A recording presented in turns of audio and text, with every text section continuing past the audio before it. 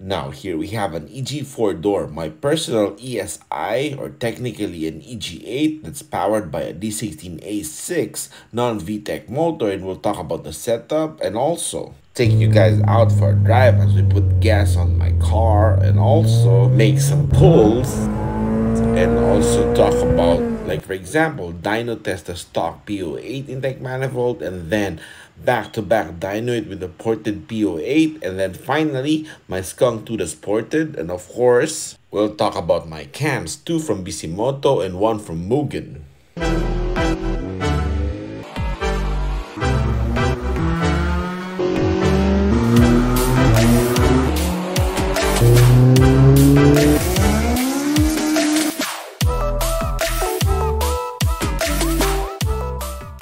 So before we pull the head to show you guys, we're going to discuss about the setup and all the aspects of the engine. But of course, before all of that, we go with the startup. We're going to start it up now from cold because we're going to gas it up before we pull the head because it's going to be sitting for a while. So hey, might as well gas it up before you park it, right? Yes, sir. That's Bisimoto level 2.x cam. And actually, the idle is to be more stable once it warms up. It's still this is still cold start so yep. Of course we'll be talking further about the intake pipe that we did here the throttle body radius inlet you know and of course we'll talk about the skunk 2 and all of the stuff that we run on this engine the whole setup. But you know we gotta drive for gas first and then we start disassembling it. Yes sir. Of course we gotta warm it up a bit you know sir. It's warming up really good. It has AC and power steering. So this is actually a street car, you know. I use this on the road and you'll know later all, all the setups on this. Let's let it warm up for a bit before we take it for a drive. And of course, show you guys, we're going to turn on the AC just now. And so you can see everything is functioning like a normal street car. This is actually 13.2 is to 1 compression and it still runs on pump gas. It runs quite well once tuned properly. So we'll discuss about that once we talk about this full setup a little later. But for now, because this is getting warmed up and it's getting warmer and warmer, let's go gas this up and show you guys the rest. Yes, sir. All right, now let's go. I'll just have to hop in. Let's go. Okay, now after gassing up, we're gonna drive out. Let me show you guys. We're gonna, you know, do one run, one simple run. That's all. We have to be careful because it's public roads.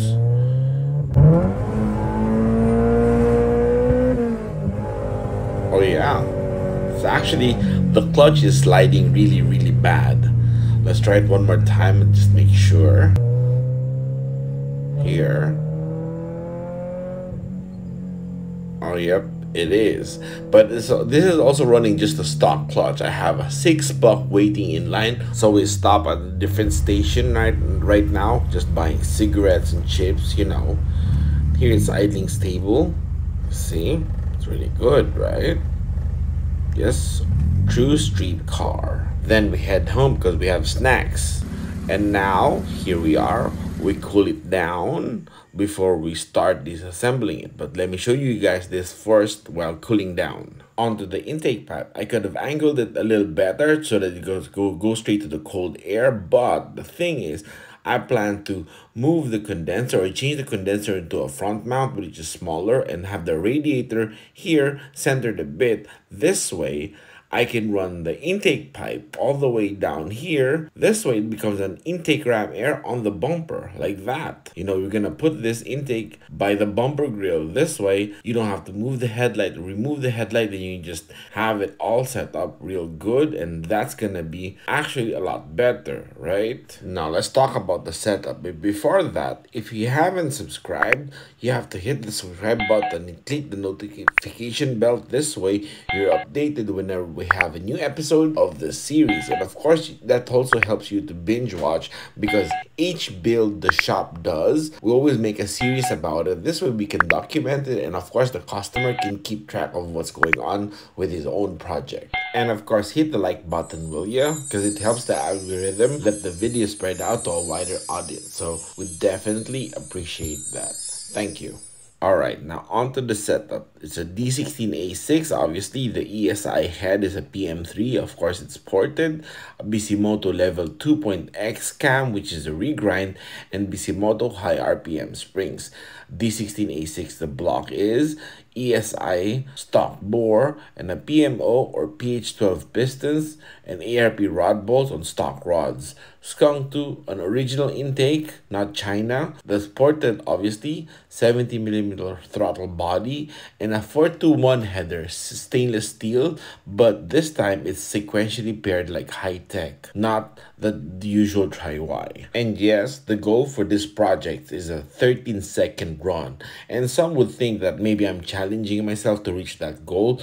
Not really, because back in 2008, with Bong Hilario of H3 AutoWorks, we did this with a simpler setup but the same exact camshaft and it ran 14.2 on a 4-door ESI like my own. But back then, the gear ratios and options and all like that uh, was not yet common, so it had a stock PH12 transmission like mine. And of course, no carbon fiber. And I don't have any plans on running carbon fiber panels on my car. So it did 14.2 back in 2008. So this has, has a better setup and a wilder way. So hey, maybe it's not too shabby, right? Okay, now let's disassemble the head. We're gonna time-lapse this for you guys. And here we are now. We set my phone by the hood. This way it's an overhead look and my colleague is busy pulling down the head from the block, of course.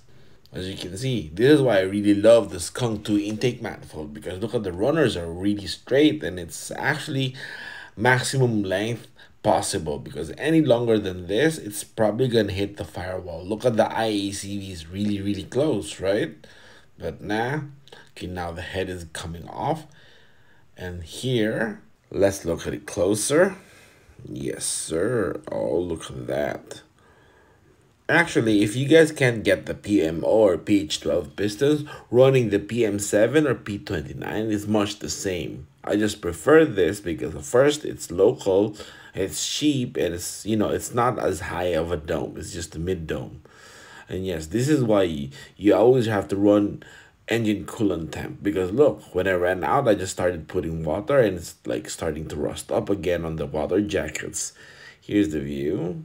Yes sir. Yes sir and of course the header is right there. It's locally made but it's a sequentially paired header. So this performs quite differently from your regular tri-y so the old engine that me and bong did that ran 14.2 had a regular tri-y so we know this could be better right? Now let's wipe off the oils from the head and take it to the workbench. Let's go let's go so now here is my D16A6 ported head and as you can see the Bisimoto high RPM springs on OEM retainers.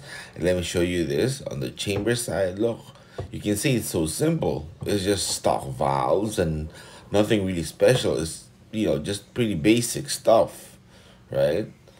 Yes sir. Okay here you see stock valves stock size valves of course. And it's milled 0.010 or 1 4 millimeter. That's why we got 13.2 or 13.16 to 1. So we just rounded off to 13.2. So now let's check out the Bisimoto cam that I'm using. And now here's the Bisimoto level 2.x regrind cam. And the specs are Lift on the intake is 414 and the exhaust is 448, but the duration is 218 on the intake and 208 on the exhaust at 0.050. So if you measure it at 0.040, it might be bigger, it's gonna be bigger. The exhaust would have, the intake would be 222, so like a Crower stage 2, right? And as I remove the cam gear, I'm sure some of you guys are wondering how about the Delta 272. When I had one in my hand, I actually decided to degree it on my engine and here's what we got.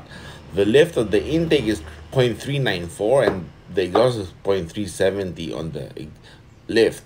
And then the ratio is 210 and 208 so you can see it's significantly smaller but we all know the delta 272 cam works right? So this bisimoto is even better. Now let me grab a stock d16a6 cam so you guys can visualize and check and compare the regrind from bisimoto here's a stock d16a6 and wait let me get the other cam the bisimoto cam and try to put it next to one another. This way you guys can visually see the difference on the lobes. It's actually quite significant if you look, you know, closely. Wait, let me hold it. Yes, sir. Wait, oh, it's moving around. Sorry, sorry. There you go. You can see the lift and duration on the regrind is a lot uh, significantly bigger than the stock one, right? Yes, sir. And now I have a special one. This is still a regrind. And I asked BC back then to actually make a wilder one than level 2.x. And, you know, I asked him and he always says this is a custom. So I guess it's level custom or custom level regrind. And you can see it's way, way bigger than the level 2.x. But it's still a regrind. So it's not even a hard weld. But look, it's huge, right?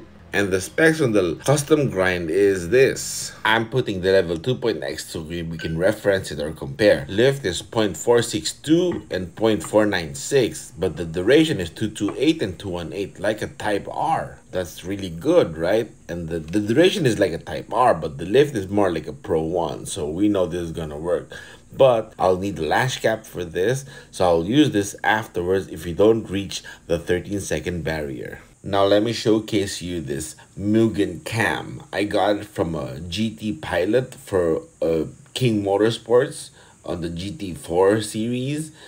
And look, now that's one huge lobe. Let's compare the level 2.x regrind. This is not a regrind by the way, this is a billet cam. Look at that, that's crazy. This looks like it's like a bigger than a Pro 3, right? Yes, sir. Those lobes have duration for days. And lift. Yes, lift too. Alright, let's let me show you guys how it is on the head and why I haven't degreed it. Look, it doesn't turn because it hits on these sides on this area. So you know, just like how BC said on the Mugen engine that he witnessed, you have to grind off those areas where the lobe hits because the cams are simply that big. So we're gunning for 13 seconds on the level 2.x regrind cam from Bisimoto. And if in case we fall short, we have the custom regrind from Bisimoto himself. The Mugen, I might just keep it.